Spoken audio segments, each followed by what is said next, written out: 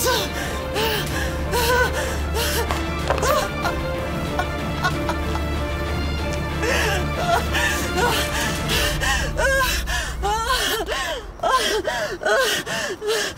Kızım, kızım öldü. Aslan!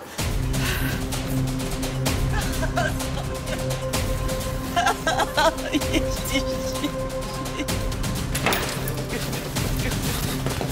Yetiş. Anne! Kızımı kurtar. Anne ne oldu anne? Anne ne oldu anne? Kızım, kızım, kızım, kızım, kızım, kızım, kızım, kızım. Allah aşkına. Babanı, ablanı öldürecek. Sen vurdu kızımı attı yerlere öldürecek. Yalvarırım kurtar.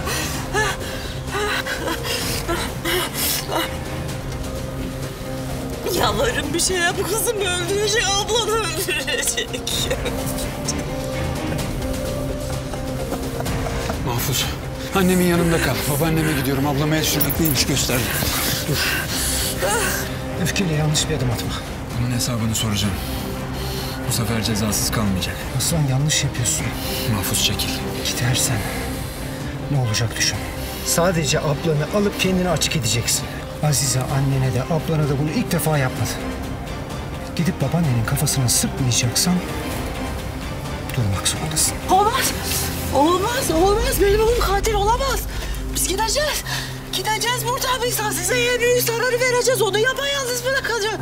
Olmaz. Gönlün hesabını sorarsın. Ama böyle değil. Neredeyse sonuna geldik. Her şeyi bozacak mısın?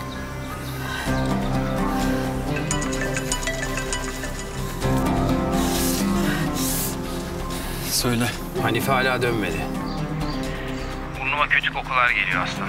Odasına bak mektup oradadır. Ev kalabalık. Yani odasına girersem...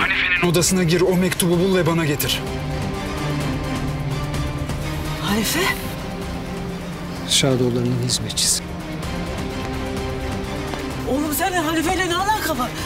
Şadoların hizmetçisiyle ne alaka var senin? Anne. Hanife sandığın gibi basit bir hizmetçi değil. Azize Aslan Bey'in öz ve öz kardeşi. ATV kanalına abone olun, hiçbir şeyi kaçırmayın.